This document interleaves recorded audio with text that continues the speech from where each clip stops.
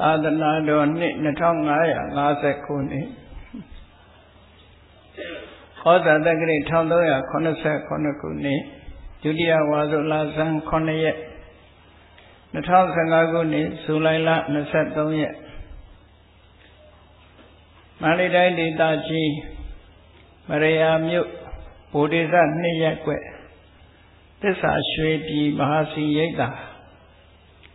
ရွှေသာ ရှင်ရင်နာကျောင်းဆောင်တော်အတွင်ဆင်းကျင်းပပြုလုပ်အပ်သည်ဗဒနာစီနောရတသာသနာတက္ကဓမ္မစရိယဝိနယဝိဓုမဟာစီနယ်လက်ဓမ္မအဓိကကမ္မဌာနာစရိယသစ္စာရွှေပြည်မဟာစီရိတ်တာနှင့်ရှင်ညာနိကပထမလရှင်မြတ်တို့အားပုနောပတံပရကန္ထချင်းမင်္ဂလာနှင့် ရွှေနာကျောင်းဆောင်တော်ကျောင်းလွတ်ပူဇော်ပွဲရှင်ပြုနာတာ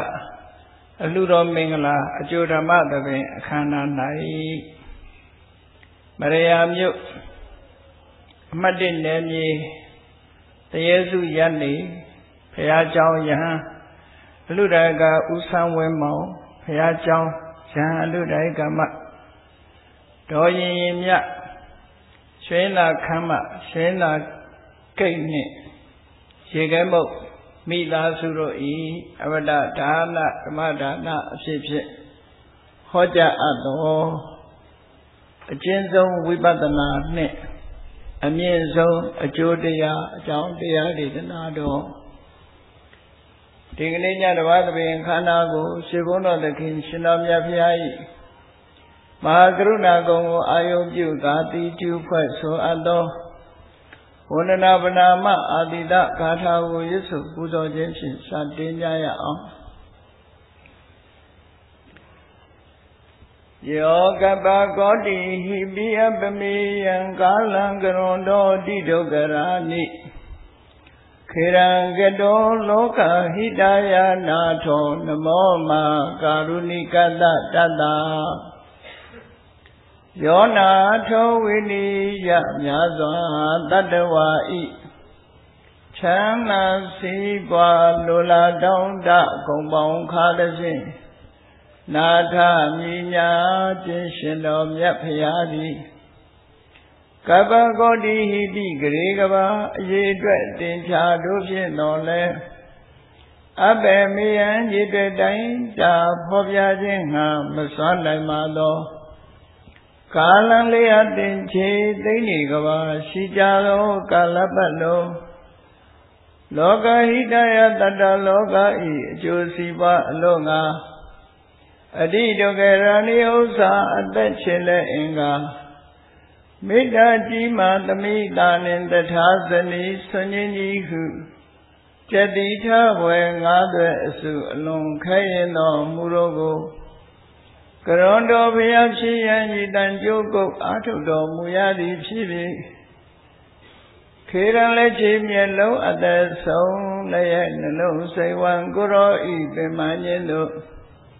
ကတောဘဝတဏ္ဍချိန်ဖန်များစွာရောက်တော်မူကြရရှာလီနီမဟာကရုဏီကတတတဝါများရင်ဝဲသားကဲ့သို့တနာချစ်ခင်မှာကရုဏာရှင်ဖြစ်တော်မူသော တတနတတဝိနည်းများစွာတတဝါဤချမ်းသာစီးပွားလိုလားတောင်းတဂုံပေါင်းခါသည်ဖြင့်နာထမိညာထိုရှင်တော်မြတ်ဖရာအားနမောယုတိပြောင်းပြောင်းမှန်ကိုလျော်၍ခရောယုကျိုးရှိခိုးခြင်းသည် အထုဘဝတုစင်စစ်မသွေဖြစ်ပါစေတည်း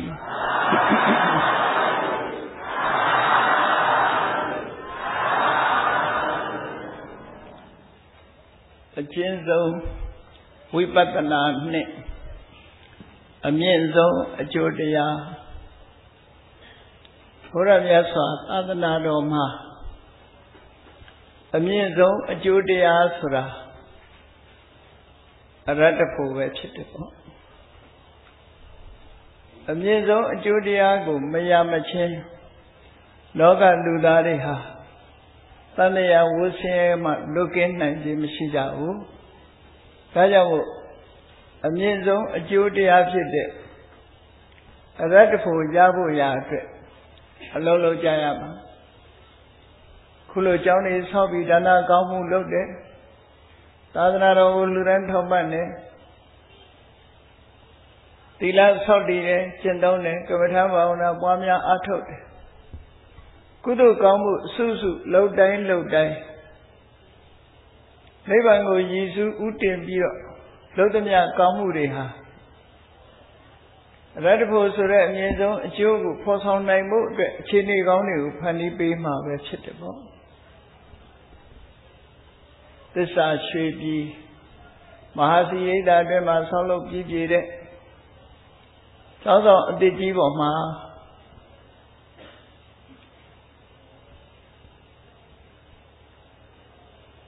ရိတ်တာဖြစ်တာကတကြောင်အကောင်းဆုံးဆောက်ဦးကြီးအတိတ်ဆောက်လုပ်ထားတာဖြစ်တာကတကြောင်အကောင်းဆုံးအဆောက်ဦးကြီးပေါ်မှာ အကောင်းဆုံးတရားကိုဟောမှပဲလို့ဆိုပြီးတော့စိတ်ကူးလာတာတော့အကျဉ်းဆုံးဝိပဿနာနဲ့အမြင့်ဆုံးအကျိုးတရားဆိုတာကိုမြတ်စွာဘုရားဟောကြားတဲ့သုတ်တန်တစ်ခုခြေပြုပြီးတော့ဟောကြားမှာဖြစ်ပါတယ်ကျေးဇူးရှင်မဟာစီဆရာတော်ဘုရားကြီးရဲ့နိဒာနေတရားကိုရရှိကြတဲ့ မဟာစီရိတ်တာဆရာတော်ဘုရားကြီးရဲ့ကမ္မထာအထုတ်နည်းတွေကိုမိတီးပြီးလမ်းမမော်ရောက်အောင်ကြိုးစားကျင့်ကြံကြိုးကိုအထုတ်ကြမယ်အရတ္တဖို့ပေါ့ရောက်အောင်ကြိုးစားကြမယ်ပုဂ္ဂိုလ်တွေအတွက်ဘုရားမြတ်စွာဟောကြားခဲ့တဲ့အချင်းဆုံးဝိပဿနာလို့ဆိုတာအင်္ဂုတ္တရနိကေမှာပါတဲ့ သာရိပုတ္တသုတ်မှာလာတဲ့အတိုင်းဒီကနေ့ဟောပြောဆုံးမှာဖြစ်ပါကုသိုလ်ကောင်းမှုဆိုတာ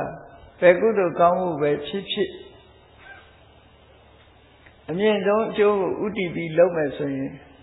အမြင့်ဆုံးအကျိုးတရားကိုရရှိနိုင်တာဖြစ်တယ်မြတ်စွာဘုရားသာသနာတော်ရဲ့လမ်းဆုံးပန်းတိုင်ဟာဘာလဲလို့ဆိုရင်အရဟတဖလပရိယောတနံဘဂဝတောသာသနံ မြတ်စွာဘုရားရဲ့အဆုံးအမသာသနာတော်ရဲ့လမ်းဆုံးပန်းတိုင်ဟာအရဟတဖို့ပဲဖြစ်တယ်ဘုန်းကြီးတို့တွေဘာပဲလှုပ်လို့ကောင်းတဲ့လှုပ်တွေလှုပ်နေသမျှဘယ်ကိုဥတည်နေရတယ်လဲဆိုရင်အရတ္တဖို့ဆိုတဲ့တရားကိုဥတည်တယ်အရတ္တဖို့ရမှနိဗ္ဗာန်ဆိုတာလည်းရမှာဖြစ်တယ်ပေါ့အဲတော့ရတ္တဖို့နဲ့ထိုရတ္တဖို့ရဲ့အာယုံဖြစ်တဲ့နိဗ္ဗာန် ဣရမေပုံညာနိဗ္ဗာနတပစ္စယောဟောတုဆိုပြီးကုသိုလ်ကောင်းမှုလုပ်သမျှဟာနိဗ္ဗာန်ရဲ့အထောက်အကူဖြစ်ပါစေဆိုပြီးဥတည်ပြီးတော့จิตတဲ့ပြုတ်ကိုအားထုတ်နေကြတာအဲ့တော့ဒီနိဗ္ဗာန်ကိုသွားဖို့ဆိုတာကုသိုလ်ကောင်းမှုမျိုးမျိုးရှိတဲ့တည်းဒါနကုသိုလ်နဲ့တိုက်ရိုက်သွားလို့ရလာလို့ဆိုဒါနကုသိုလ်နဲ့တိုက်ရိုက်သွားလို့မရဘူး ဒါနကနိဗ္ဗာန်ရောက်ဖို့အတွက်အချိန်လေးကောင်းတစ်ခုကိုဖန်တီးပေးနိုင်တယ်သီလကုသိုလ်နဲ့တိုက်ရိုက်သွားလို့ရလာဆိုသီလကုသိုလ်ကလည်းတိုက်ရိုက်သွားလို့မရဘူးအချိန်လေးကောင်းတစ်ခုကိုဖန်တီးပေးနိုင်တယ်သို့တော်ဒါနသီလဆိုတဲ့ကုသိုလ်ကောင်းမှုဟာနိဗ္ဗာန်ရဲ့ပစ္စယလို့ဆိုတဲ့ဥပနိဒေယအကြောင်းတော်ဖြစ်တယ်။သို့သောနိဗ္ဗာန်ကိုသွားရင်ဘာလို့ရဝိပဿနာကျင့်စဉ်ကိုကျင့်ရမှာဖြစ်တယ်။ အနိကအကြောင်းတရားကတော့ဝိပဿနာကျင့်ကိုကျင့်ရင်းပဲဖြစ်တယ်။ထို့သောသုတ်တန်တွေမှာဟောပြောထားတဲ့အတိုင်းဖះပဲဖြစ်စေပစ္စေကဗုဒ္ဓပဲဖြစ်စေယဟန္တာအရိယာသူတော်စင်တွေပဲဖြစ်စေဘယ်ပုဂ္ဂိုလ်ပဲဖြစ်ဖြစ်တန်မြာဝကလွတ်သွားတဲ့ကျင့်စဉ်ဟာတခုတည်းပဲ အဲ့ဒီတန်မြာဝကလွတ်သွားတဲ့ကျင့်စဉ်ကိုရသဗျာဆုံးမတဲ့တုတ်တန်နေရပြောမယ်ဆိုရင်လုပ်ငန်းကိုဖော်ပြတဲ့အခါမှာနိဝရဏတရား၅ပါးကိုဖယ်ရှားပြစ်ခြင်းတတိပဒံတရား၄ပါးပေါ်မှာမိမိစိတ်ကိုအခြေတည်ခြင်းနဲ့ ဘုဇင်တရား9ပါးကိုပွားများခြင်းဆိုတဲ့ဒီကျင့်စဉ်နဲ့သာလင်းတန်လျာဝကထွက်ပေါ်ရသွားတယ်ဥပမာပါနဲ့တူတယ်လဲလို့ဆိုရင်ရှေးခေတ်ကနေချားဒေသတွေမှာကင်းမြို့အနေနဲ့တစ်ဖက်ကရန်သူတွေမလာနိုင်အောင်တကားတစ်ပေါက်ထဲသာရှိတဲ့မြို့တိဆောက်ပြီးတော့ထားကြတယ် အဲ့ဒီကနေပြီးလုံခြုံရေးကိုတင်းကျပ်ထားအဲ့ဒီမြို့မှာဝင်ပေါက်တစ်ပေါက်ထဲပဲရှိတယ်တတိုင်းနေလုံပိတ်ပြီးခမ်းမြင့်မြင့်ဆောက်ထားလို့ဝင်ပေါက်ကတစ်ပေါက်ထဲရှိတကားမှုကမြို့ကိုပတ်ပတ်လဲလှည့်သွားပြီးတော့တတိုင်းတွေကိုစစ်ဆေးကြည့်တယ်ဘယ်နေရာမှာကျိုးနေတာပေါက်နေတာရှိတယ်လဲလို့လှည့်ပြီးတော့စစ်ကြည့်လိုက်တဲ့အခါ ကြောင်တကောင်ဝင်စားလောက်အောင်တောင်အပေါက်မရှိဘူးလုံးဝလုံခြုံပြီးတော့စိတ်ချရတယ်ဆိုတဲ့အခါမှာသူပါဆုံးဖြတ်တယ်ဒီမျိုးတဲ့ဝင်တဲ့လူတွေသို့မဟုတ်ဒီမျိုးကထွက်သွားတဲ့လူတွေဟာဟောဒီတကားပေါက်ကကြီးပဲဝင်ပြီးဒီတကားပေါက်ကကြီးပဲထွက်တယ်လို့ဆုံးဖြတ်ချက်ချနိုင်တယ်လို့ပဲတဲ့နိဗ္ဗာန်ကိုထွက်ဖို့အတွက် တဏှာဝကထွက်ဖို့နိဗ္ဗာန်ကိုဝင်ဖို့ဆိုတာဒီတကားတစ်ခုတည်းပဲရှိတယ်အဲ့ဒီတကားဟာဘာလဲလို့ဆိုနိဝရဏတရား၅ပါးကိုဖယ်ရှားပေးခြင်းအဲ့တော့နိဝရဏတရား၅ပါးဆိုတာဘာလဲနမတိကကာမိသန္တကာမဆိုတာလိုချင်စရာအာယုန်ဒီပေါ်မှာသန္တလိုချင်တွေ့တာနေတဲ့တဏှာ လိုချင်စရာအာယုန်တွေကိုလိုချင်နေတဲ့တဏှာသည်လူတွေရဲ့တဏ္ဍာမှာဖြစ်နေပြီဆိုလို့ရှိရင်និဝရဏလို့ဆိုတဲ့အတိုင်းအဆုတ်အပိတ်ကြီးဖြစ်လာနိဗ္ဗာန်ကိုသွားဖို့အတွက်ပိတ်ပိတ်ဆို့ထားတဲ့နေရာကြီးနိဗ္ဗာန်ကိုသွားဖို့ဘယ်လို့မှမသွားနိုင်ဘူးဒီនិဝရဏကဆုတ်ပိတ်ထားဥပမာမဲ့ရေမြောင်းမှာ အမိုက်တရိုက်တွေဆုတ်ပိတ်နေလို့ရှိရင်အဲ့ဒီရေမြောင်းကရေတွေမသွားနိုင်တော့အဲ့ဒါလိုပဲနိဗ္ဗာန်ကိုသွားဖို့အတွက်ဟောဒီကာမဂုဏ်အာယုန်တွေပေါ်မှာဆန္ဒရှိနေမှုတွေ့တာမှုတွေရှိနေမှုသည်အပိတ်အဆိုးကြီးပဲဖြစ်တယ်ဒီအပိတ်အဆိုးကြီးမဖွင့်နိုင်တဲ့မြတ်နိဗ္ဗာန်ကိုစီးဝင်သွားနိုင်ဖို့မရှိဘူးတဲ့ဒါကြောင့်မို့ကာမိဆန္ဒလို့ခေါ်တယ် ရစီကမြင်ရတဲ့အာယုန်တွေပေါ်မှာကျင့်တတ်မှုနှစ်သက်မှုတွေ့တာမှုနားကသာကြားရတဲ့အတန်ပေါ်မှာตาရမှုတွေ့တာမှုနှာခေါင်းကနမ်းရှူရတဲ့အနတ်အာယုံပေါ်မှာตาရမှုတွေ့တာမှုလျာနဲ့လည်းရရတဲ့အရသာအာယုံပေါ်မှာတွေ့တာမှုตาရမှုခန္ဓာကိုယ်နဲ့ထိတွေ့တဲ့အထိတွေ့တွေပေါ်မှာตาရမှုတွေ့တာမှုလို့ဆိုတာတွေဟာ နိဗ္ဗာန်သွားဖို့လမ်းကြောင်းကြီးကိုဆုတ်ပိတ်ထားတာပဲဖြစ်တယ်ပေါ့ဒါကြောင့်နိဗ္ဗာန်ရောက်ချင်သလားဆိုရင်ဒီနိဝရဏကိုဖယ်ရှားပစ်ဖို့လိုတယ်နိဝရဏရဲ့အဓိပ္ပာယ်ကိုကဆုတ်ပိတ်ခြင်းလို့အဓိပ္ပာယ်ရဆုတ်ပိတ်ထားသည့်အတွက်ကြောင့်ဘာတွေဖြစ်တုံဆိုစေတသောဥပိ္ပခိလေတိစိတ်ကိုညှဉ်းနှွမ်းသွားစေတတ်တဲ့စိတ်ကိုပူလောင်သွားစေတတ်တဲ့ဟောဒီလောဘစိတ်ကိုပူလောင်စေတယ်စိတ်ကိုညှဉ်းနှွမ်းစေတယ် ဒါရင်လားလို့ဆိုမဟုတ်ဘူးပညာရဒုပ္ပတိကရဏီစဉ်းစားဉာဏ်လေးအပြော့သွားစေနိုင်တယ်နိဗ္ဗာန်သွားဖို့အတွက်ထက်မြက်တဲ့အတိဉာဏ်လေးဆုံးရှုံးသွားနိုင်တယ်အပြော့သွားနိုင်ဒါကြောင့်ဟိုနိဗ္ဗာန်တရားကိုမဖယ်ရှားဘဲနဲ့နိဗ္ဗာန်ဆိုတာဘယ်လိုနည်းနဲ့မှမရောက်နိုင်ဘူးနိဗ္ဗာန်တရား၅ပါးတည်းကကာမိသန္တာနိဗ္ဗာန်ကိုဖယ်ရှားဖို့ကြိုးစားမယ် ဘာနဲ့ဖယ်ရှားမလဲလို့ဆိုရင်ခုပြောတဲ့မတရားနဲ့ဝိပဿနာကျင့်စဉ်ကိုကျင့်ပြီးတော့မတရားနဲ့ဖယ်ရှားရမှာဖြစ်တယ်။ဖို့တရားတွေနဲ့ဖယ်ရှားဖြစ်တယ်။နောက်တစ်ခုကဘာလို့ဆိုရင်ဒုစရာကာမဂုဏ်အာယုန်တွေပေါ်မှာตาယာတွေ့တာနေုံမြတ်မကထိုตาယာတွေ့တာမှုဆုံးရှုံးသွားပြီဆိုလို့ရှိရင်မကြည်မနှက်ဖြစ်တယ်။ ရှားတာလေးလက်လွတ်ဆုံးရှုံးသွားရင်မကြည်မနှက်တွေဖြစ်တယ်မရလို့ရှိရင်လည်းမကြေမနတ်တွေဖြစ်တယ်အဲ့ဒါကိုဖြာပါဒလို့ခေါ်တယ်ဒါကြောင့်မို့ကာမိဆန္ဒနဲ့ဖြာပါဒဟာတွဲဖက်ပြီးတော့နေတယ်ကာမိဆန္ဒဆိုတဲ့ကာမဂုဏ်အာယုန်တွေပေါ်မှာတွေ့တာမှုရှိလို့ဖြာပါဒဆိုတဲ့မကျေနပ်မှုတွေကလည်းဖြစ်ပေါ်လာတတ်တယ်အဲ့ဒီမကျေနပ်မှုဆိုတဲ့အရာဟာလည်းပဲ နိဗ္ဗာန်တကားပေါက်ကြီးကိုပိတ်ဆို့ထားတဲ့အရာပဲဖြစ်တယ်ဒါကိုလည်းဖယ်ရှားပြစ်နိုင်ရမှာဖြစ်တယ်နောက်တစ်ခုကဘာလို့ဆိုရင်ဥဒိစ္စပုဂ္ဂိုလ်စအာယုန်လေးတစ်ခုပေါ်မှာစိတ်ကိုတင်လိုက်တဲ့အချိန်မှာလွင့်ပြန်ပြီးတော့သွားတယ်စိတ်တည်ငြိမ်မှုတွေဆုံးရှုံးနေတယ်စိတ်တွေလေလွင့်နေတယ်စွစည်းလို့မရဘူးဆိုတဲ့ဥဒိစ္စ ဖြစ်ပေါ်လာတဲ့အရာပေါ်မှာမကြေမနက်ဖြစ်ပြီးစိတ်ပူလောင်နေတယ်ဆိုတဲ့ကိုကုစ္စထိနာမိတ်တာလို့ဆိုတဲ့စိတ်အားတွေလျော့ကျမှု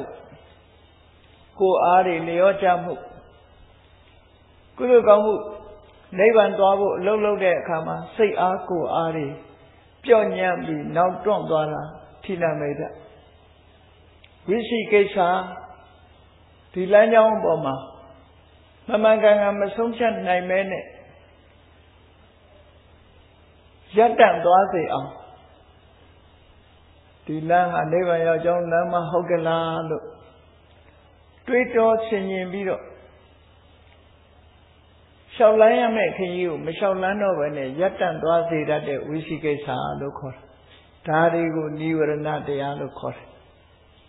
ဒီတရားတွေရှိနေသမျှကာလပတ်လုံးဘလောက်ပဲနိဗ္ဗာန်ရပါရစေလို့ဆုတောင်းဆုတောင်းဒီအပိတ်ဆို့ကြီးကိုမရှင်းနိုင်သမျှကာလပတ်လုံးနိဗ္ဗာန်ဆိုတာတွေ့မှာမဟုတ်ဘူးရောက်မှာလည်းမဟုတ်ဘူးကိလေသာတွေကိုဖယ်ရှားနိုင်တဲ့အကျင့်တရားကိုလည်းကျင့်နိုင်မှာမဟုတ်ဘူးဒါကြောင့်မို့ဟောဒီនិဝရဏတရားတွေကိုဖယ်ရှားရမယ်ဒါဖြင့်ဗာနဲ့ဖယ်ရှားရမလဲလို့ဆိုရင် တတိပဋ္ဌာန်တရား၄ပုံ၄ပါးပေါ်မှာစိတ်ကိုအာယုံစိုက်ပြီးတော့အခြေတည်ပြီးတော့ဖယ်ရှားရမှာဖြစ်တယ်ဟောကာယေကာယ ानु ပတိဝိဟရတိအာတာပိတမ္ပဇာနောတတိမာဝိနည်းလောကိအဖိစ္ဆာဒေါမနတံလို့မာတတိရဏတုတ်မှာဟောထားတယ်မိမိတဏ္ဍမှာရှိတဲ့ကာယပေါ်မှာကာယလို့အမှန်ကန်ရှုမြင်သုံးသပ် အဲ့လိုရှုမြင်သုံးသပ်တဲ့အခါမှာအာတပိပေါ့ပေါ့ရော့ရော့မဟုတ်ဘူးကျင့်ထန်ကြိုးစားရမယ်တမ္ပဇာနောစင်ကြတော်တရားရှိဖို့လိုတယ်တတိမှာတတိရှိဖို့လိုတယ်တတိရဲ့ပညာရဲ့ဝိရိယရဲ့အဲ့ဒီတရား၃မျိုးမဂ္ဂင်၈ပါးနဲ့ပြောမယ်ဆိုရင်တတိမာက သမ္မာတတိကိုပြောတာအာတာပိကသမ္မာဝါယာမကိုပြောတာသမ္မဇန်တော်ကသမ္မာဒိဋ္ဌိကိုပြောတာရှုမှတ်မှုကသမ္မာသမာဓိဆိုလိုတယ်အဲ့တော့ဒါတွေမပါပဲတရားအထုတ်တယ်ဆိုမဖြစ်နိုင်ဘူးကြိုးစားရမယ်ဝိရိယတတိရှိရမယ် ဆင်ញင်တုံတရားအသိဉာဏ်ရှိရမယ်မိမိအာယုန်နဲ့ပတ်သက်ပြီးအမှန်သိတဲ့သမ္ပဇင်ညာသမ္ပဇာနာတရားရှိရအဲ့ဒီတတိယဝိရိယယဝိရိယယတတိယပညာယဆိုတဲ့ဒီအရေးကြီးတဲ့အချက်၃ချက်မိမိတဏ္ဍမှာတည်ဆောက်ထားပြီးတော့မှန်စွာမြင်တဲ့သမာဓိဋ္ဌိအမှန်ကန်တွေးတဲ့ သမ္မာသင်္ကပ္ပဆိုတဲ့ဒီတည်ငြိမ်မှုဆိုတဲ့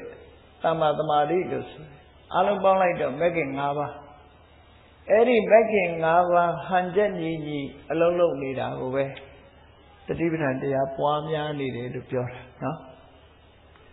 တတိပဌာန်တရားပွားများနေတယ်လို့ဆိုတာအဲ့ဒါမလုပ်ဘဲနဲ့နိဗ္ဗာန်ဘယ်လိုမှမရဆိုပါစို့ ထွက်လေဝင်လေလေးပေါ်မှာအာယုဆိုင်နေပဲဆိုရင်အာယုမဆိုင်နိုင်မှုဆိုရင်ဘာတွေဖြစ်နေလဲမြင်တဲ့အာယုပေါ်မှာကြိုက်လိုက်ကိုမကြိုက်တဲ့အာယုံဆိုမုန်းလိုက်နော်ကောင်းတဲ့အာယုံနှစ်သက်စရာအာယုံလေးနဲ့တွေ့ရင်လောဘဖြစ်လိုက်မနှစ်သက်စရာအာယုံနဲ့တွေ့ရင်ဒေါသဖြစ်လိုက်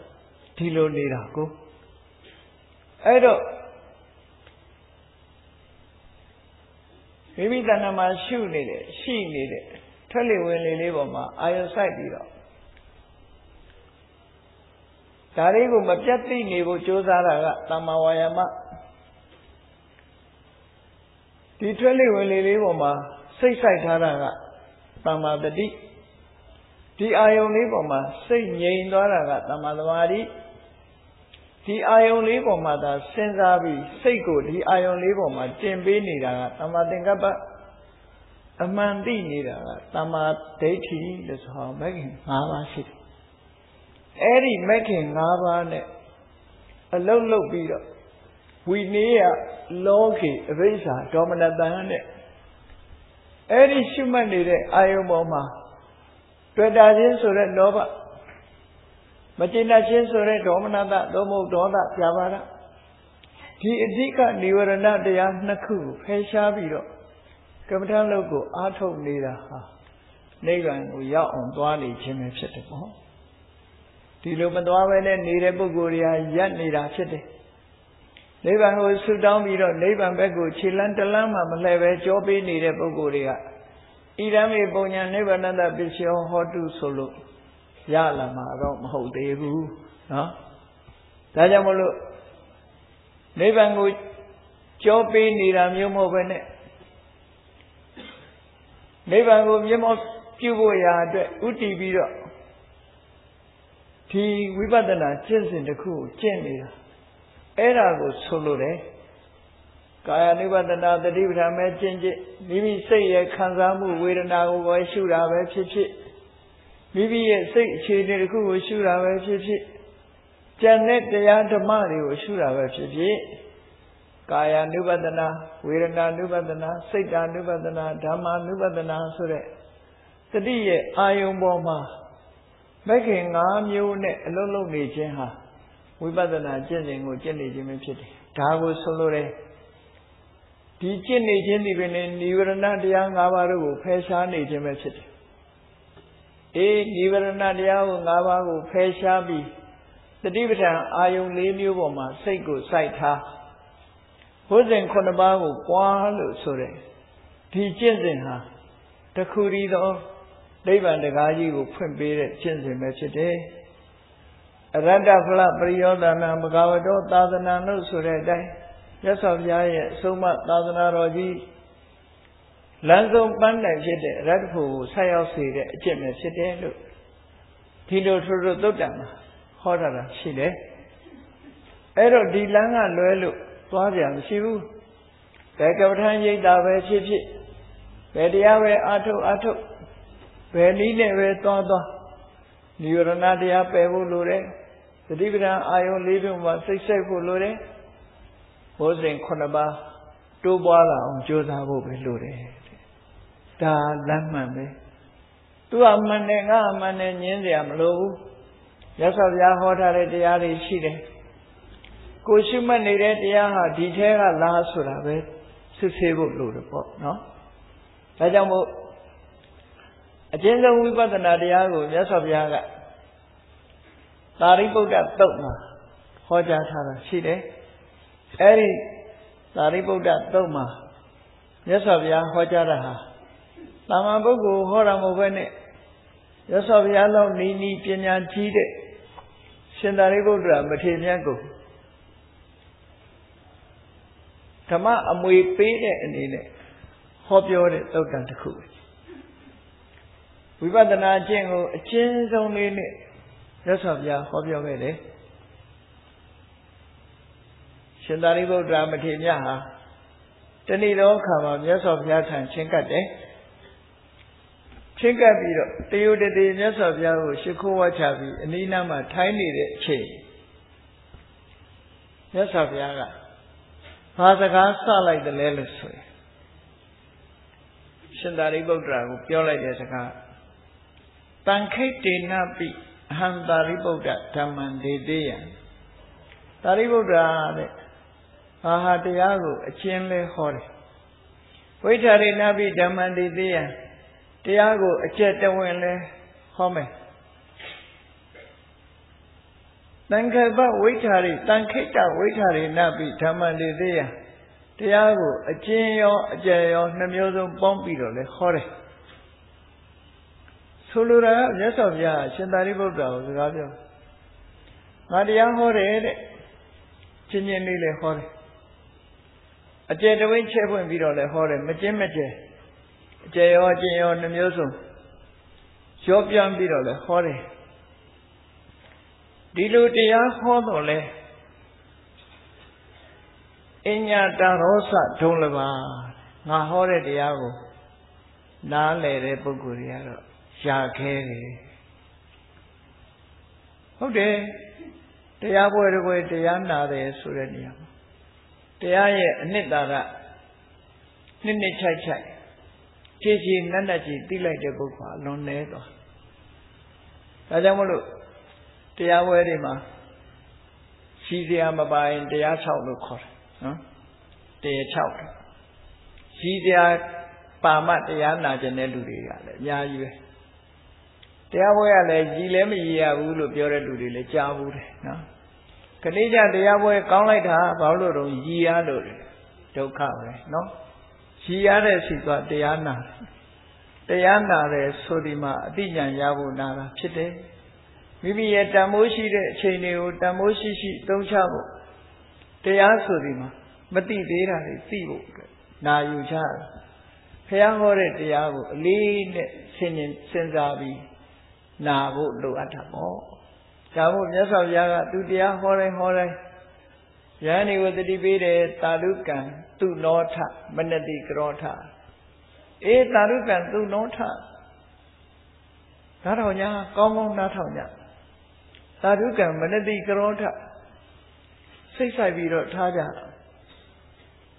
တရားရဲ့တဘာဝကိုသိရှိအောင်နားလဲဆွင့်ထား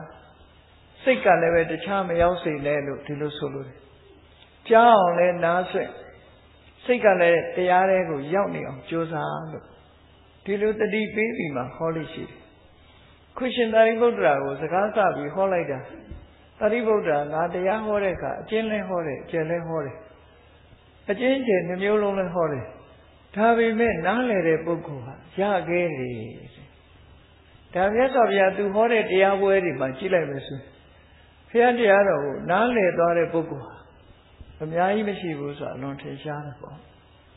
ဟုတ်ပြီတပည့်သက်ကြတရားဟောတဲ့အခါကြည့်လူသားတွေကရှင်ကွဋ္ဌိညဝပ္ပဗဒိယမဟာနံအတ္တစီဆိုပစ္စဝကိ၅ပါးတရားနာကြတယ်နတ်တွေပြမာတွေကတော့မရေတွက်နိုင်အောင်လာကြတယ်လူသားတွေကတော့9ယောက်ထဲပဲတပည့်သက်ကြတရားရှင်းလင်းပြီးဟောကြားလို့သဘောပေါက်နားလည်သွားတာရှင်ကုဋ္ဌိညတပါးပဲနားလည်တယ် လူသားတွေတဲကရှင်ကုဋ္ဌိညတပါးပဲနားလည်ဒါကြောင့်မို့မြတ်စွာဘုရားကအညာတိဝတ္တဘောကုဋ္ဌိညောအညာတိဝတ္တဘောကုဋ္ဌိဟေးယံတို့ကုဋ္ဌိညတော့သဘောပေါက်သွားပြီငါဟောတာနားလည်သွားပြီဆိုရှင်ကုဋ္ဌိညတပါးပဲနားလည်ကြံတဲ့ပစ္စဝကိ၄ပါးနားမလည်သေးဘူးဗြမာတွေကတော့၁၈ကလေးသဘောပေါက်နားလည်သွားကြတယ်နတ်တွေကအသင်ဖြေနားလည်သွားကြတယ် သို့သောလူသားတွေကတူးသာလင်းဒီတရားကိုနားလည်တယ်ဆိုတော့လူတွေရဲ့အရေးအတွက်နဲ့လူသားတွေတွေကကြည့်မယ်ဆိုရင်မြတ်စွာဘုရားကရှင်သာရိပုတ္တရာကိုခေါ်တဲ့ထင်အညာတရောစဒုံလပါငါဟောတဲ့တရားကိုသဘောပေါက်တဲ့ပုဂ္ဂိုလ်ကြတော့အင်တမရှားတယ်ဒါခဲတယ်တရားကိုနားလည်တဲ့ပုဂ္ဂိုလ်ရှားတယ်မြတ်စွာဘုရားဒီလိုဆိုအဲ့လိုစကားဆလိုက်တဲ့အခါကျတော့ ရှင်သာရိပုတ္တရာအထက်ကရာဆရာကြီးကတော့ဒီနေရာရှင်းပြနားလေတဲ့လူရှားတယ်လို့ဆိုတော့ရှင်သာရိပုတ္တရာမြတ်စွာဘုရားကိုဘာလျှောက်လိုက်ဧတတ္တဘဂဝါကာလောဧတတ္တဘဂဝါကာလောမြတ်စွာဘုရားတဲ့ဟောဖို့အချိန်တန်ပါတယ်နားလေတဲ့ပုဂ္ဂိုလ်တွေရှိပါလိမ့်မယ်ဆိုပြီးတော့ဟောပါဗျာအကျဉ်းအပြင်ဟောပါဗျာအကျယ်အပြင်လည်းဟောပါဗျာ အကျဉ်းကျယ်နှမျိုးအလုံးအပြင်လည်းဟောပါဗျာသဝိတ္တန္တိဓမ္မတအညာတာရောတရားကိုနားလေသဘောပေါက်တဲ့ပုဂ္ဂိုလ်တွေရှိပါပါဟောပါဘုရားလို့ရှင်သာရိပုတ္တရာမြတ်စွာဘုရားကိုဟောအောင်တိုက်တွန်းလိုက်တာအဲ့ဒီအချိန်မှာမြတ်စွာဘုရားဝိပဿနာတရားဟောတာတကယ်ချင်းချင်းလေးဟောတာချင်းချင်းလေးဟောလိုက်ရင်မလုပ်ရမယ်ဆိုတာဘုန်းကြီးတို့တရားနာပရိသတ်သဘောပေါက်သွားနိုင်တယ်ပေါ့ ဝိပဿနာကျင့်စဉ်ကအကျယ်ကြီးဆိုတဲ့အခါတို့ဘယ်လိုကျင့်ရမလဲလို့သဘောပေါက်ချင်မှပေါက်မယ်အကျဉ်းလေးဒီသုဒ္ဓမှာဟောထားတယ်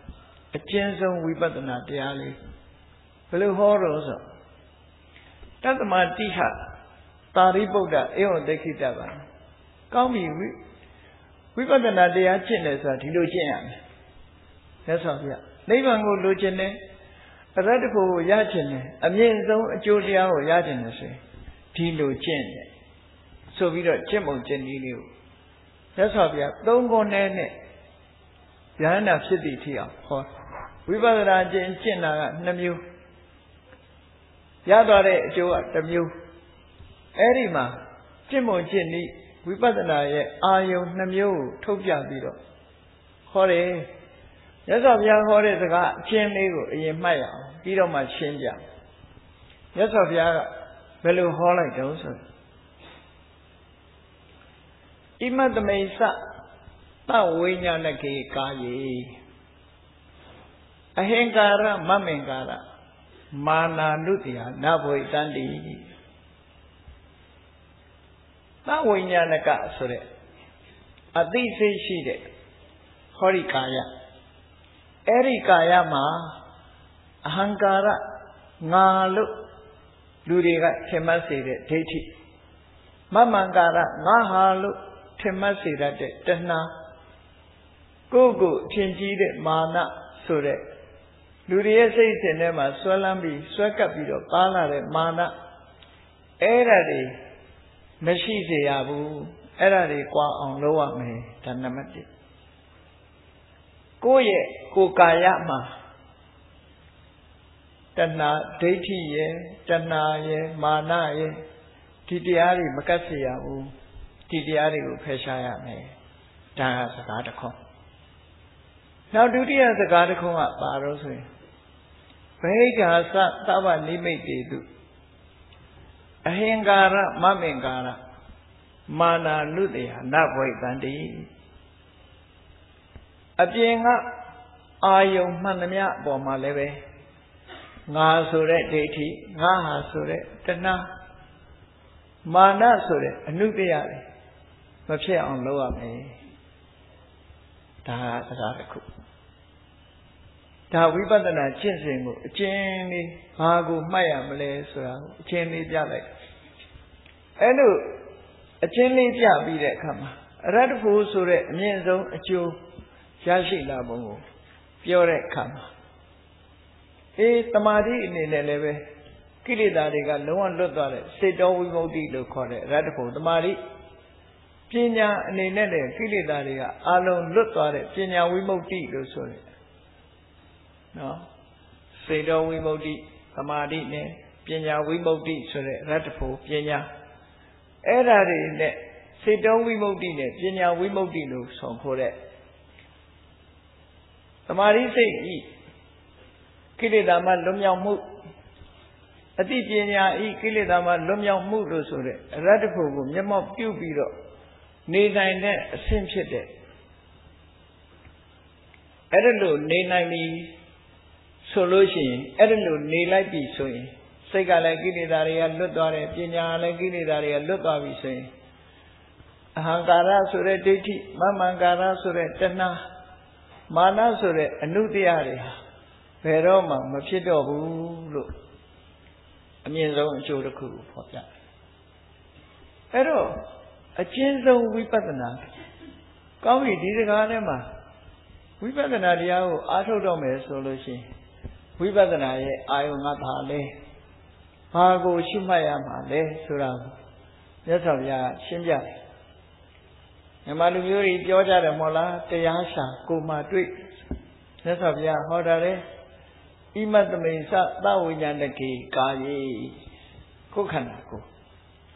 ကိုယ်ခန္ဓာဆိုတာတရားအထုတ်တဲ့ပုဂ္ဂိုလ်ယောဂီတွေအတိအတိရဲ့ခန္ဓာခန္ဓာလို့ဆိုလိုက်တဲ့ဖြင့်ကိုယ်ခန္ဓာလို့ဆိုလိုက်တဲ့ဖြင့်ဘာကိုဆိုလိုတာတော့ဆိုဥပါဒณะခန္ဓာ၅ပါးပဲရုပ်ဝေဒနာသင်ညာသင်္ခါရဝိညာဉ်လို့ဆိုတဲ့ဒီခန္ဓာ၅ပါးအဲ့ဒီခန္ဓာ၅ပါးပေါ်မှာ မမံကာရငါလို့ထင်မှတ်စေတာဘု து ကြောင့်လဲအဟံကာရငါလို့ထင်မှတ်စေတာဘု து ကြောင့်လဲမမံကာရငါဟာလို့ထင်မှတ်နေတာဘု து ကြောင့်လဲငါလုံနိုင်တယ်စွမ်းနိုင်တယ်လို့ဆိုတဲ့ထင်မှတ်မှုကဘု து ကြောင့်လဲအဲ့ဒီမိမိရဲ့ကိုယ်ကာယဆိုတဲ့ခန္ဓာပေါ်မှာမှားယွင်းနေတဲ့ အမြင်သုံးမျိုးကိုဖယ်ရှားပြစ်နိုင်အောင်ကြိုးစားပါလို့ဒီလိုဆိုလို့ကဲဘုန်းကြီးတို့တွေစဉ်းစားကြည့်ပေါ့လူတွေမှာအကြမ်းများအဖြစ်ပြောမယ်ဆိုရင်ရုပ်ဆိုတာမျက်စိရှိတယ်နားရှိတယ်နှာခေါင်းရှိတယ်လျှာရှိတယ်ကိုယ်ရှိတယ်ကိုယ်ကာယရှိတယ်အဲ့ဒါတွေဟာဘုန်းကြီးတို့တွေရဲ့တဏ္ဍာမှာထင်ရှားတဲ့ယုတ်တွေပဲ အဲ့ဒီထင်ရှားတဲ့ယုတ်တွေပေါ်မှာအမိပြုပြီးတော့အသိစိတ်ဆိုတာရှိတယ်ခံစားချက်တွေရှိတယ်ကြံတွေးမှုတွေရှိတယ်အဲ့ဒါတွေကနန္တရားမှတ်သားမှုတွေရှိတယ်အဲ့ဒါတွေကနန္တရားခန္ဓာကိုယ်မှာရှိနေတယ်ရူပခန္ဓာဝေဒနာခန္ဓာသင်္ညခန္ဓာသင်္ခါရခန္ဓာဝိညာဉ်ခန္ဓာဥပါဒံဆွဲလန်းရဖြစ်တဲ့ခန္ဓာတွေလူအသီးသီးမှာ တရားရှုပြီးဝိပဿနာရှုပြီးဆိုလို့ရှိရင်ဘယ်ကိုရှုရမှာလဲလို့ဆိုရင်ကိုယ်တဏ္ဍမှာရှိတဲ့ရုပ်ကိုပဲဖြစ်စေခံစားတဲ့ခံစားမှုကိုပဲဖြစ်စေအာယုံပေါ်မှာသိမှတ်မှုဆိုတဲ့ပညာကိုပဲဖြစ်စေစိတ်ဆော်မှုသို့မဟုတ်လိုချင်မှုတွေ့တာမှုမုန်းတိမှုစတဲ့စေတသိက်အခြေအနေတွေတို့ခေါ်တဲ့သင်္ခါရတွေကိုပဲဖြစ်စေ ဝိညာဏလို့ခေါ်တဲ့အသိစိတ်ကိုပဲဖြစ်စေပြီးတဲ့တတိပဒံတရားနဲ့ပြောမှဆိုရင်ကာယဝေဒနာစိတ်ဓမ္မလို့ခေါ်တယ်ဒီလေးမျိုးအတိအသီးသောယောဂီပုဂ္ဂိုလ်ရဲ့တဏ္ဍမှာဖြစ်တဲ့ခန္ဓာဒီပေါ်မှာလူတွေဟာငါလို့ပြောနေတာဘယ်သူကိုပြောလဲ ငါဟာလို့ပြောတာဘယ်သူကိုပြောနေတာလဲငါလုံနိုင်တယ်ငါစွမ်းနိုင်တယ်လို့ဆိုတဲ့အကြီးချင်းပေါ်မှာတွေ့တာပြီးတော့ထင်မှတ်နေတာဘယ်သူကြောင့်ထွယ်မှတ်နေတာလဲဆိုနတ္တလက္ခဏာသုံးပါးရှိတဲ့အတိုင်းပဲငါလို့ထင်မှတ်နေတာဟာဧသောမီအတ္တလို့ဆိုတဲ့အတိုင်းဒိဋ္ဌိရဲ့အတွေးမျှတာဖြစ်တယ်ပေါ့ဒိဋ္ဌိရဲ့အတွေး ကြည့်လို့ရှိရင်အဟံကာရငါလို့ယူဆနေတာဟာဒိဋ္ဌိရဲ့အတွေးပဲဖြစ်တယ်မမံကာရငါဟာလို့ယူဆနေတာဟာတဏှာရဲ့အတွေးများတာဖြစ်တယ်တကယ်တော့သူ့အကြောင်းနဲ့သူ့ဟာသူတိုက်ဆိုင်ပြီးတော့ဖြစ်ပေါ်နေတဲ့သဘာဝမျှတာဖြစ်တယ်စဉ်းစားကြည့်လေမျက်လုံးလေးဟာငါလားသို့မဟုတ်ငါဟာလားလို့စဉ်းစားကြည့်လိုက်လို့ရှိရင်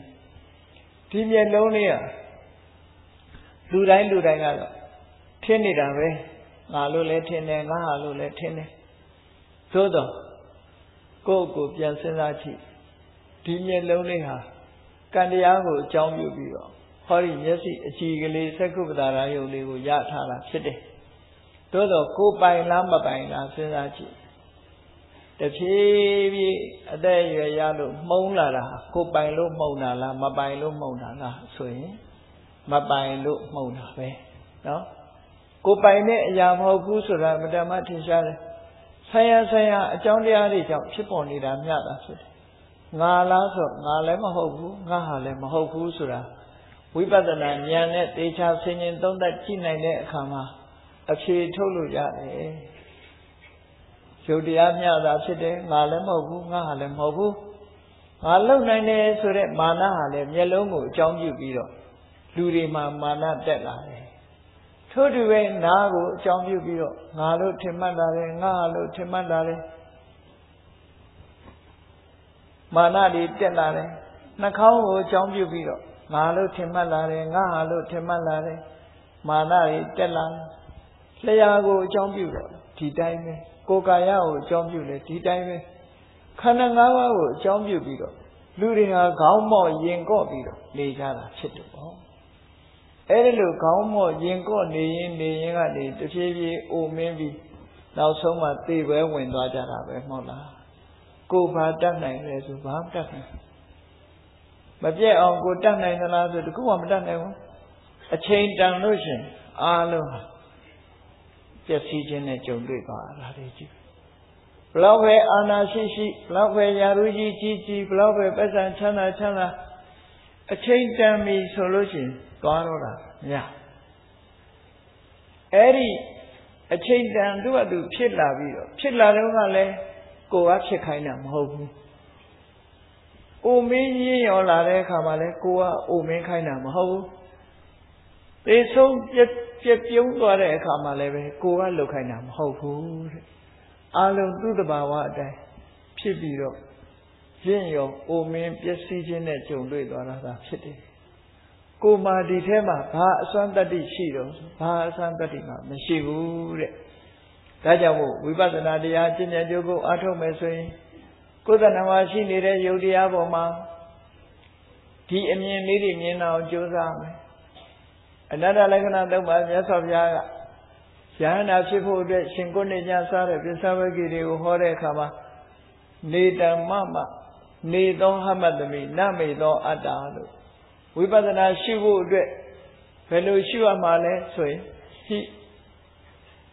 ဒီမျက်စိဆိုတဲ့ယုတ်တရားလေးဟာနေတမ္မမငါဟာမဟုတ်ဘူးနမေသောအတ္တငါရဲ့အတ္တလည်းမဟုတ်ဘူးနေသောဟမတမိငါစွမ်းနိုင်တဲ့အရာလည်းမဟုတ်ဘူးလို့ဟောတဏမာနဒိဋ္ဌိကိုဖယ်ရှားပြီးတော့ယထာဘူတံသမပညာယဓထဗံ မှန်ကန်သောဝိပဿနာဉာဏ်ပညာဖြင့်ရှုမြင်နိုင်အောင်ကြိုးစားပါအဲ့ဒီလိုမြင်မှဝိပဿနာမြင်လာမှဘာကိုဖယ်ရှားနိုင်လို့ဆိုလို့ရှိရင်တွေ့တာမှုကိုဖယ်ရှားနိုင်တယ်မှားယွင်းနေတဲ့အမြင်ကိုဖယ်ရှားနိုင်တယ်တွေ့တာနေတဲ့တဏှာကိုဖယ်ရှားနိုင်တယ်အထင်ရောက်နေတဲ့မာနကိုလည်းဖယ်ရှားနိုင်တယ်အဲ့ဒီတဏှာမာနဒိဋ္ဌိကိုဖယ်ရှားနိုင်မှသာလေ နိဗ္ဗာန်ဆိုတာမျက်မှောက်ပြုနိုင်မှာဖြစ်တယ်အမြင့်ဆုံးအရဟတဖို့ထိအောင်ဆက်ရောက်နိုင်မှာဖြစ်တယ်ဒါကြောင့်မို့ရှင်သာရိပုတ္တရာကိုဟောတဲ့ဒီဝိပဿနာဟာအချင်းဆုံးဟောလိုက်တာပဲဖြစ်တယ်ပေါ့ဝိပဿနာတရားရှုရမှာဘယ်မှာရှုရမလဲဆိုရင်ဣမတမိသသဝိညာဏကေကာယေ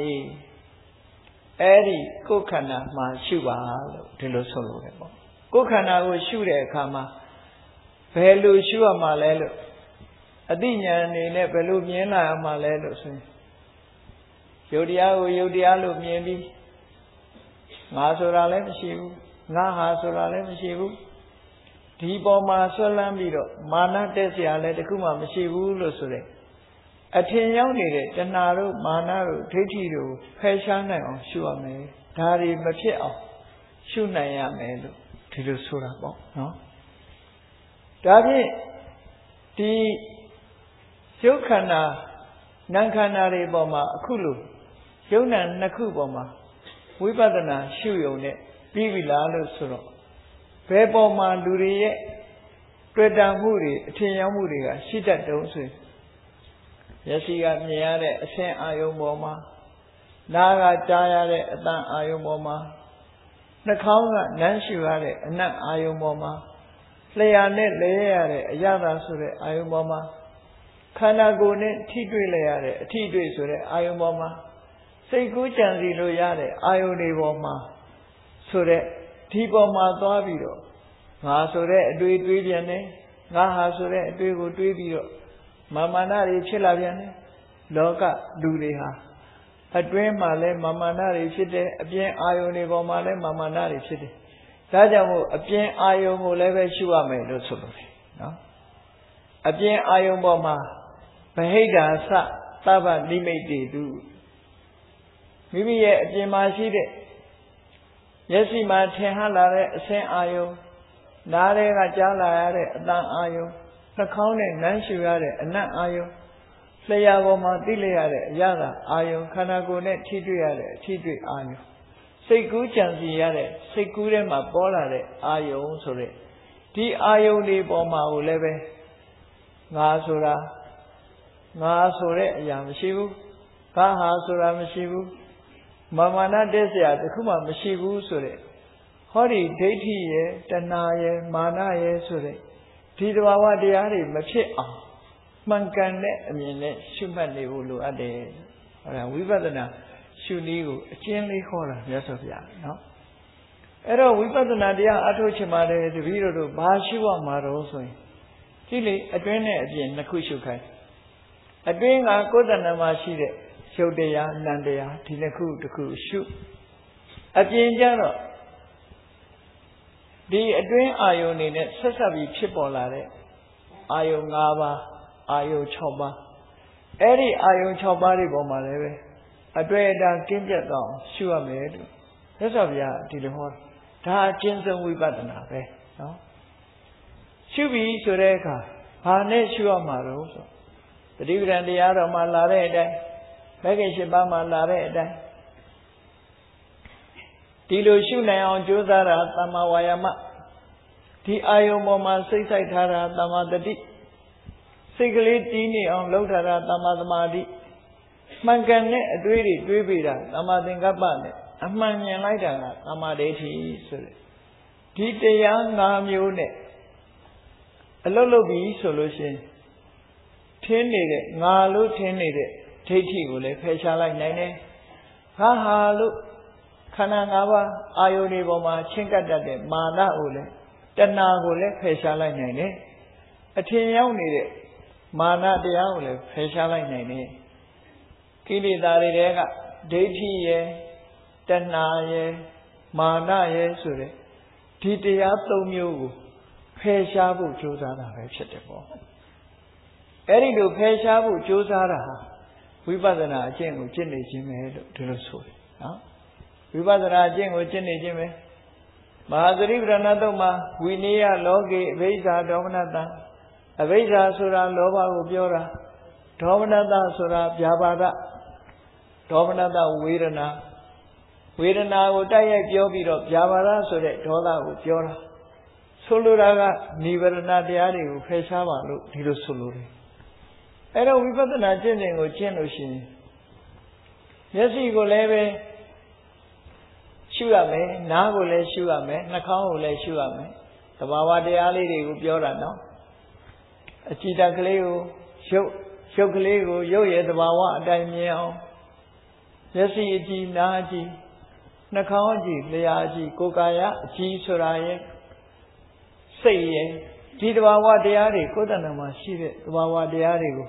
သဘာဝအတိုင်းမြင်ပြီးတော့ငါဆိုတဲ့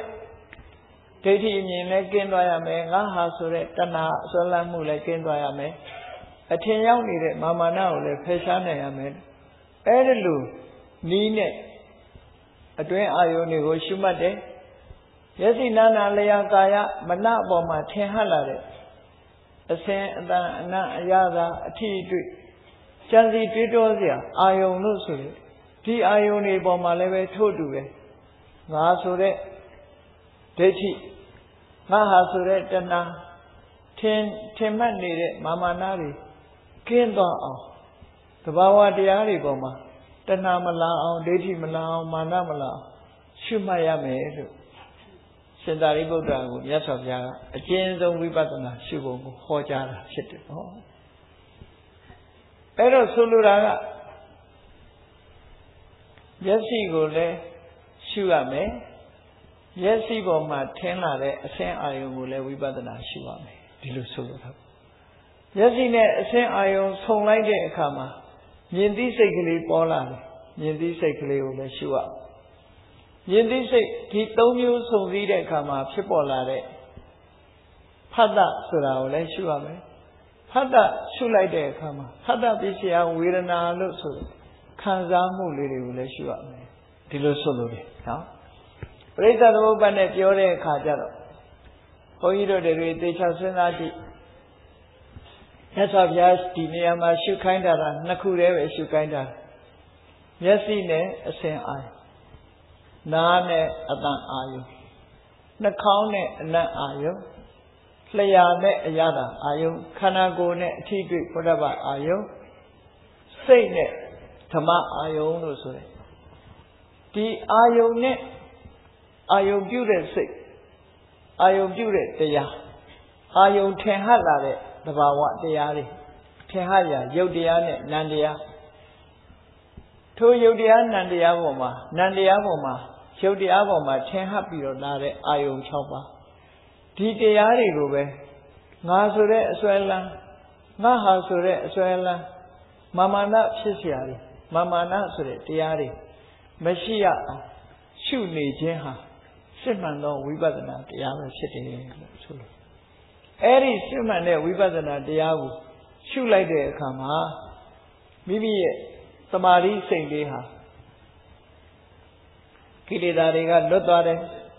ထိုသမာဓိစိတ်လေးကိလေသာကလွတ်သွားတာစေတုံးဝိမု ക്തി လို့ခေါ်တယ်နောက်တစ်ခါမိမိရဲ့ပညာစွမ်းအားနဲ့ကိလေသာတွေကိုဖယ်ရှားလိုက်နိုင်တယ်ကိလေသာတွေကလွတ်သွားတယ်တဏမာနဒိဋ္ဌိတို့ကလွတ်သွားပြီဆိုတဲ့ပညာဟာ ပညာဝိမု ക്തി လို့ခေါ်တယ်အဲ့ဒီစေတုံးဝိမု ക്തി ပညာဝိမု ക്തി လို့ဆိုတဲ့ဒီတမာရီစွမ်းအားတွေကိုယ်တဏ္ဍပညာစွမ်းအားတွေရှိလာလို့ရှင်ငါဆိုတဲ့အတွေးလည်းမရှိတော့ဘူးငါဟာဆိုတဲ့အတွေးလည်းမရှိတော့ဘူးမာမာနတွေဆိုတဲ့ထင်မှတ်မှုတွေလည်းမရှိတော့ဘူးယုတ်တရားဟာယုတ်တရားများတာဖြစ်တယ်နန္တရားဟာနန္တရားများတာဖြစ်တယ်လို့ဒီလိုမြင်လာနိုင်တယ် အဲ့ဒါလိုမြင်လာခြင်းအပြင်မြတ်စွာဘုရားဒီလိုမြင်လာအောင်ကြည်ကြံကြုတ်ကိုအထုတ်ပါတဲ့အဲ့ဒါလိုမြင်လာလို့ရှိရင်ဘာဖြစ်လဲဒီလိုမြင်လာပြီဆိုရင်ရရှိလာတဲ့အကျိုးကဘာလဲအမြင့်ဆုံးအကျိုးကဘာလဲလို့ဆိုတဲ့အခါကျတော့မြတ်စွာဘုရားကဟောတယ်ဣစ္ဆစီတဏံမိမိတဏ္ဍမှာလူချင်းမှုတွေတွေ့တာမှုတွေလုံးဝပြတ်တောက်သွားလိမ့်မယ် ဝိဝတ္တိတန်ရောစနံတန်ရောစဉ်ဆိုတဲ့စိတ်နဲ့အာယုံနှောင်ဖွဲ့ထားမှုတွေဟာလည်းပဲပြတ်ဆဲသွားလိမ့်မယ်နော်စိတ်နဲ့အာယုံနှောင်ဖွဲ့တဲ့နှောင်ဖွဲ့ဒီနေရာမှာတန်ရောစဉ်ဆိုတာဘာပြောတာအရကလူတွေနားလည်နေကြတာပစ္စည်းတန်ရောစဉ်သားတန်ရောစဉ်သမီးတန်ရောစဉ်ဘာတန်ရောစဉ်ညာတန်ရောစဉ်နဲ့ပြောတယ်တကယ်တန်ရောစဉ်ဆိုတာ ဒီဘဲဟာကိုဆိုလိုတာတော့ဆိုရင်မိဘတွေဆိုရင်မိဘကသာသမီတန်ရောစဉ်ရှိတယ်ဆိုရင်မိဘရဲ့စိတ်နဲ့အာယုံပြုတဲ့စိတ်နဲ့မိဘကအာယုံပြုပြီးတွေ့တာနေတဲ့သာသမီမိဘကလည်းတန်ရောစဉ်မဟုတ်ဘူးသာသမီကလည်းတန်ရောစဉ်မဟုတ်ဘူးသူတို့နှစ်ဦးကြားမှာဆက်သွယ်နေတဲ့တွေ့တာမှုကလေးကိုတန်ရောစဉ်လို့ခေါ်တာနော် ပစ္စည်းကလည်းတန်ရောစဉ်မဟုတ်ဘူးလူကလည်းတန်ရောစဉ်မဟုတ်ဘူးပစ္စည်းနဲ့လူကြားမှာဆက်သွယ်နေတဲ့လူချင်းတွေ့တာမှုလေးကတန်ရောစဉ်ဖြစ်တယ်တခါပစ္စည်းနဲ့လူကြားထဲမှာမုံတီးမှုလေးကတန်ရောစဉ်ဖြစ်တယ်ဒီလိုဆိုလိုတာဥပမာပါနဲ့တူတော့ဆိုရင်စာရွက်ကလေးနှစ်ရွက်ထပ်ထားစာရွက်ကလေးနှစ်ရွက်တူတူပူးနေတော့လည်းပဲတရက်နဲ့တရက်ဟာ တွေ့ကပ်နေခြင်းမရှိဘူးအေးအဲ့ဒီစာရွက်လေးနှစ်ရွက်ကြားထဲမှာစူပါဂလူးတို့ကော်လေးတစ်ခုထည့်လိုက်မယ်ဆိုရင်ဘာဖြစ်သွားစာရွက်နှစ်ရွက်ကတ်သွားစာရွက်နှစ်ရွက်ကတ်သွားအဲ့တော့ဒီစာရွက်နှစ်ရွက်ကတ်တာဘသူကြောင့်ကတ်တာလဲလို့ဆိုရင်အဲ့ဒီကော်သေးကြောင့်ကတ်တာကော်သေးဟာတန်ရောစင်ပဲဒီလိုဆို သားတန်ရောစင်သမီးတန်ရောစင်ချက်ပြီးသားတွေသမီးတွေအိမ်ကနှင်ချရမှာမဟုတ်ဘူးသူတို့ပေါ်မှာတွေ့တာတဲ့တန်ရောစင်ဆိုတဲ့တဏှာကိုသာပယ်ရမှာဖြစ်တယ်ပစ္စည်းဥစ္စာတွေကိုဆွန့်လွတ်ခိုင်းတာမဟုတ်ဘူးပစ္စည်းဥစ္စာတွေပေါ်မှာတွေ့တာနေတဲ့မမောတဲ့တဏှာကိုသာဆွန့်လွတ်ခိုင်းတာဖြစ်တယ်အဲ့တော့ဆွန့်လွတ်တာကစာရွက်ကလေးနှစ်ရွက်ချားမှာရှိတဲ့ကော်သေးကိုဖယ်ခိုင်းတာပဲဖြစ်တယ်တန်ရောစဉ်ဆိုတာကော်သေးကိုပြောတာနော်အဲ့ဒါကိုဖယ်ခိုင်းတာ အဲ့ဒါကိုဖယ်ခိုင်းတာလေသဘောမပေါက်လို့ရှိရင်အေးတန်တန်ရောစဉ်သမီးတန်ရောစဉ်သားတွေသမီးတွေအဝေးပို့ပလိုက်ပြီးတန်ရောစဉ်မရှိတော့ပစ္စည်းဥစ္စာတွေအကုန်လှူပြစ်လိုက်ပြီးတန်ရောစဉ်မရှိတော့ဘူးလို့ဒီလိုထင်ကောင်းထင်လိမ့်မယ်အဲ့ဒါလို့ဆိုလိုတာမဟုတ်ဘူးပစ္စည်းနဲ့လူချားမှာတွေ့တာနေတာကိုပြောတာအတူဘလောက်ပဲနေနေနေတွေ့တာမှုမရှိဘူးဆိုရင်တန်ရောစဉ်ပြတ်တယ်လို့ခေါ်တယ်ဟော အတူတော့နေတဲ့တန်ရောစဉ်မရှိဘူးတန်ရောစဉ်ဆိုတဲ့တွေ့တာမှုမရှိရင်ဘာဖြစ်လဲစိတ်ပူတာမရှိဘူးစိတ်ပူတာမရှိရင်စိတ်ဆင်းရဲတယ်ဆိုတာလည်းမလာတော့တန်ရောစဉ်ပြတ်ပြီးတော့ဒူဒူနေတာဟာငြိမ်းချမ်းတဲ့ဒူဒူနေမှုပဲဖြစ်တယ်ဟောစာရွက်ကလေးထပ်ထားသလိုပဲအလဲကောင်မှာစက်ကူလေးနှစ်ချက်ထပ်ထားတယ်ကောမရှိဘူးဆိုလို့ရှိရင်တစ်ချက်နဲ့တစ်ချက်ဟာခွဲနိုင်ခွာနိုင်ရွေးရှားနိုင်တယ် အေးကော်စိမ့်လေးထည့်လိုက်ပြီဆိုလို့ရှိရင်တော့ဖဲမယ်ဆိုရင်စုပ်ပြတ်သွားမှာပဲကော်စိမ့်ကတ်နေတာကိုအတင်းဆွဲခွာလို့ရှိရင်စုပ်ပြတ်သွားသလိုပဲသာသမီတွေပေါ်မှာတွေ့တာမှုတွေများနေလို့ရှိရင်ကုသိုလ်တွေဘက်ကစုပ်ပြတ်ကုန်တာပဲခွဲဖို့ကြိုးစားလိုက်တာနဲ့တပြိုင်နက်ကုသိုလ်တွေစုပ်ပြတ်သွားမှာပဲဒါကြောင့်မို့တာယောစဉ်ဆိုဒီမှာနှစ်ဦးကြားကတွေ့တာမှုအဓိကထားပြီးတော့ပြောတာကဖြစ်တယ်ပေါ့ နှစ်ဦးကြားကတွေ့တာမှုလေးကိုဖယ်ရှားရမယ်နှစ်ဦးကြားကမုံဒီမှုကိုဖယ်ရှားရမယ်နှစ်ဦးကြားကဖြစ်ပေါ်နေတဲ့ဆွဲလန်းမှုတွေတွေ့တာမှုတွေအားလုံးဖယ်ရှားပြရမယ်လို့ဒီလိုဆိုလိုတာအဲ့တော့အခုလိုဝိပဿနာကျင့်စဉ်ကျင့်လိုက်တဲ့အခါမှာနော်မျက်စိနဲ့မိမိစိတ်တွေ့တာနေတာပေါ်မှာလဲတန်ရောစဉ်မရှိတော့မျက်စိကတော့ရှိနေပဲစိတ်ကလည်းရှိနေပဲမျက်စိနဲ့စိတ်ကြားမှာ တွေ့တာနေတဲ့တဏှာမရှိတော့ဘူးနားနဲ့အတန်ကြားမှာတွေ့တာနေတဲ့တဏှာမရှိတော့ဘူးနှာခေါင်းနဲ့အနံ့ကြားမှာတွေ့တာနေတာမရှိတော့ဘူးလျှာနဲ့အရသာကြားမှာဖြစ်ပေါ်နေတဲ့တွေ့တာမှုတွေဆိုတာမရှိတော့ဘူးခန္ဓာကိုယ်နဲ့အထီးတွေ့ကြားမှာတွေ့တာနေတာဆိုတာမရှိတော့ဘူးအဲ့ဒါကိုဆိုလို့လေဝိဝတ္တိတန်ရောစနာတန်ရောစင်ကြီးကင်းပြတ်သွားပြီဒီဝိပဿနာရှုလိုက်တာနဲ့တကယ်နဲ့အစစ်အမြင့်ဆုံးရောက်သွားလို့ရှိရင် တဏှာလည်းပြတ်သွားပြီတဏှာပြတ်လို့ရှိရင်တန်ရောစင်ကြီးလည်းပြတ်ထွက်သွားပြီနော်တမ္မာမာနာဘိတမယအန္တမကာတိဒုက္ခတာမာနကိုလည်းပယ်လိုက်နိုင်ပြီမှန်ကန်သောဤစနစ်ဖြင့်မာနကိုလည်းပယ်လိုက်တယ်မှန်ကန်တဲ့ဝိပဿနာအကျင့်ဖြင့်မာနကိုလည်းပယ်လိုက်နိုင်ပြီဆိုလို့ရှိရင်ဒုက္ခအဆုံးသတ်သွားဒုက္ခဆိုတာဘာကိုပြောတာလဲလို့ဆိုရင် တန်ခိတ်တေနပိစုပါရနက္ခန္ဓာဒုက္ခလို့တစ်ဖက်ဆက်ကြမှာဟောထားတယ်ခန္ဓာ၅ပါးဟာဒုက္ခပဲအရထဲပြောနေလို့စားစရာမရှိလို့စီးပွားရေးအဆင်မပြေလို့ဒုက္ခဆိုတာပြောတာမဟုတ်ဘူးခန္ဓာ၅ပါးဟာဒုက္ခပဲအစဉ်ပြေနေနေကြမ်းမာနေနေစီးပွားဥစ္စာတွေတက်နေနေခန္ဓာ၅ပါးဒီဒုက္ခပဲအဲ့ဒီဒုက္ခအဆုံးသတ်ဖို့အတွက် ဟောဒီဝိပဿနာကျင့်တဲ့ကိုကျင့်တဲ့တွေကိုအထောက်အမယ်ကျင့်တဲ့အခါမှာမိမိကိုယ်ကာယပေါ်မှာဘာဖြစ်အောင်ကျင့်ရမလဲတဏမာနဒိဋ္ဌိလွတ်အောင်ကျင့်ရအာယုံပေါ်မှာတဏမာနဒိဋ္ဌိလွတ်အောင်ကျင့်ရအဲ့ဒီလိုတဏမာနဒိဋ္ဌိလုံးဝလွတ်သွားတဲ့အခါမှာစေတောဝိမု ക്തി ပညာဝိမု ക്തി ဆိုတာကိုမျက်မှောက်ပြုရင်တဏမာနဒိဋ္ဌိလုံးဝလွတ်သွားတာဖြစ်တယ်အဲ့ဒီလိုလုံးဝလွတ်သွားလို့ရှိရင်ဆင်းရဲဒုက္ခတွေလည်းအဆုံးသတ်သွားတယ်လို့ ရှင်သာရိပုတ္တရာမထေရမြတ်ကိုမြတ်စွာဘုရားအကျဉ်းဆုံးဝိပဿနာဟောပြီးတော့အမြင့်ဆုံးအရတ္တဖို့တရားကိုဟောကြားဆုံးမတော်မူတာဖြစ်တယ်အဲ့ဒါကိုရည်ညွှန်းပြီးမြတ်စွာဘုရားကပါရယဏသုတ်တံမှာဥရိယဆိုတဲ့ယသိရဲ့မေးခွန်းကို ဖြေတဲ့အခါမှာလည်းပဲအရတ္တဖို့ဘယ်လိုပြောတော့ဆိုဓမ္မတက္ကပုရိဆိုတာ ဥပိ္ခာတတိတန်တုဋ္ဌံဓမ္မစဓမ္မတက္ကပုရိဆိုတာအညာဝိမောက္ခပဖြူမိအဝိဇ္ဇာယပဗေဒနာဆိုတဲ့စကားနဲ့အဝိဇ္ဇာယပဗေဒနာမတိတာတွေအားလုံးကိုရှင်းပြလိုက်တယ်အဝိဇ္ဇာတွေရှင်းပြလိုက်လို့ရှိရင်နိဗ္ဗာန်ကိုတွေ့ပြီနိဗ္ဗာန်ကိုတွေ့ပြီးတော့အရဟတဖို့ကိုမျက်မှောက်ပြုသွားနိုင်ပြီ အရဟတဖို့ကိုမျက်မှောက်ပြုလိုက်တာနဲ့တပြိုင်နက်ဆင်းရဲဒုက္ခအလုံးကလွတ်သွားပြီအဲ့ဒါလို့လွတ်သွားဖို့ရအတွက်ဝိပဿနာအကျင့်ကိုကျင့်ကြရမှာဖြစ်တယ်လို့မိမိခန္ဓာကိုယ်မှာဖြစ်စေမိမိခန္ဓာကိုယ်နဲ့ဆက်သွယ်နေတဲ့အာယုန်တွေမှာအပြင်ကအာယုန်တွေပေါ်မှာဖြစ်စေဝိပဿနာရှုရမယ်လို့ဝိပဿနာရှုခွက်နှမျိုးမြတ်စွာဘုရားဟောကြားတာဟာအကျဉ်းဆုံးဝိပဿနာရှုနည်းကိုဟောကြားခြင်းပဲဖြစ်တယ်။ အကျဉ်းဆုံးဝိပဿနာရှုလိုက်တဲ့ဖြင့်အမြင့်ဆုံးဖြစ်တဲ့ရတ္တဖို့အကျိုးတရားကိုရရှိမှာဖြစ်တယ်။ဒတရားချစ်ခင်သူတော်စင်ပြိဿပေါင်းတို့ရသော်ဘုရားသာသနာတော်နဲ့ကြုံတွေ့တဲ့အခါမှာအမြင့်ဆုံးအကျိုးဖြစ်တဲ့ရတ္တဖို့ရရှိဖို့ရာအတွက်ဝိပဿနာတရားကိုကျင့်ကြံကြိုးကိုအထောက်ကြရမှာဖြစ်တယ်ဝိပဿနာတရားအာမထုတ်ပဲနဲ့ရတ္တဖို့ရောက်တယ်ဆိုတာဘယ်နည်းနဲ့မှမဖြစ်နိုင်ဘူးဒါကြောင့်မို့ရတ္တဖို့ရောက်ဖို့ရာအတွက် နိဝရဏတရားတွေကိုဖယ်ရှားရမယ်တတိပဋ္ဌာန်၄ပါးအာယုံ၄ပါးပေါ်မှာစိတ်ဆိုင်ထားပြီးတော့ဘုဇင်9ပါးလို့ဆိုရဲ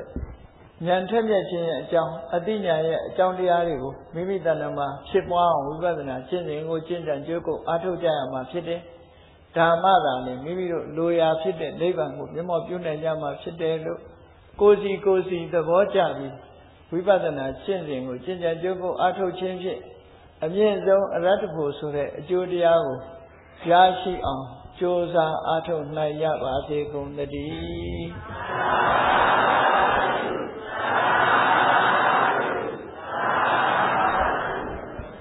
မေတ္တာပို့ရအောင်တတဝါများစွာခေယံကွာချမ်းသာကြပါစေချမ်းသာကြပါစေ တတဝါများစွာဖေးရန်กว่าချမ်းသာကြပါစေမေတ္တာရေချမ်းသုံးငါဖြံငြိမ်းချမ်းကြပါစေမေတ္တာရေချမ်းသုံးငါဖြံ ငြိမ်းချမ်းကြပါစေသက်ရှိချမ်းသာသိချမ်းသာတို့ရဆန္ဒပြေပါစေသက်ရှိချမ်းသာစိတ်ချမ်းသာတို့ရဆန္ဒပြေပါစေ ဘုံလန္တာဒုက္ခသင်္ကစာမေတ္တာပုံနေတုသင်္ကမမနောတရတိတဝိတံဘဝယန္တုဒုက္ခနကမေတ္တာပုံနေတုသင်္ကမစုပေါင်းဖို့အမေတ္တာတဟုရောင်မြူပဝင်းငွေလာမင်းနှင့်ရောင်ချင်းရှဲယုံပေါင်းဆောင်ရခြင်းကြောင့်သဗ္ဗေသံကျွမဲ့ဥဒ္တုံလုံးလုံးများသောတတ္တဝါတို့ မနောတရတိမြမြဖြူစင်အကြည်လင်းသည့်ရေစဉ်ကြည်တင်းစိတ်နှလုံးဤဟုသောရေအိုင်ကြီးအတွင်း၌ဒုက္ခပင်အသာစင်ထောရအမြတ်ကြည်သာတာယာပွင့်လန်းချမ်းသာဒုက္ခဤဟုသောကုမုဒ္ဒရာကြာပန်တို့သည်ဟုံးလန္တဝန္တာရှင်မြူမုံလူရဲ့ကြည်နူးဝဲကြုံဖူးပွင့်ကြအကုန်သည်ဖြစ်၍ဒုက္ခနကလေးအောင်လေးတဲ့ရောရှက်တင်ပြပီတိတိဟုသောယနန္တို့သည် သဝရံတုကောင်းစွာမသွေကြိုင်လန်၍နေကြပါစေကုန်တည်း